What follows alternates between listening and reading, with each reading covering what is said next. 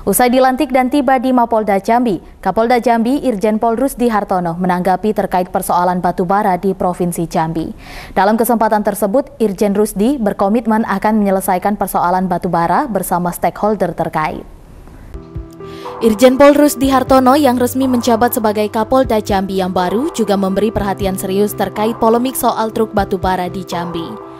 Menurut Irjen Pol Rusdi Hartono, dalam menyelesaikan isu batubara, semua pihak harus duduk bersama dan mencari solusi terbaik.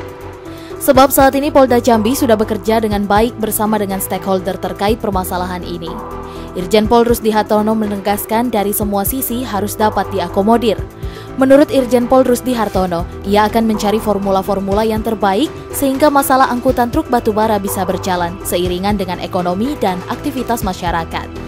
Sekarang sudah ada pengaturan-pengaturan kapan boleh keluar sampai kapan segala macam ini menjadi bagian kita mencari solusi tapi tapi kita evaluasi kita akan cari terus formula-formula yang terbaik sehingga betul-betul masalah angkutan batu bara bisa berjalan ya.